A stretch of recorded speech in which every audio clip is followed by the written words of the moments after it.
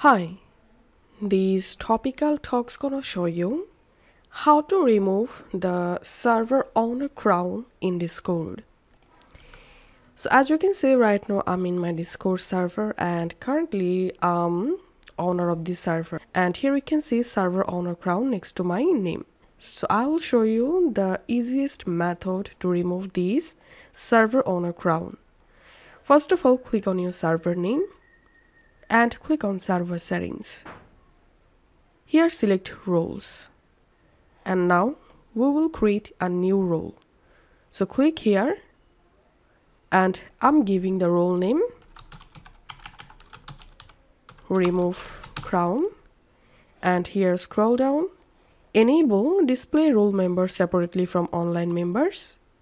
And go to permissions. Scroll down all the way to the bottom and enable administrator. And now just click on save changes and go to your server again.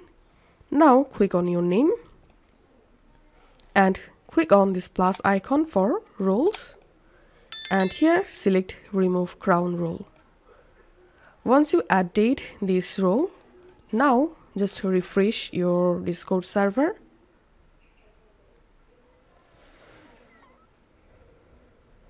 and as you can see I've successfully removed server owner crown. So this is how we can do it.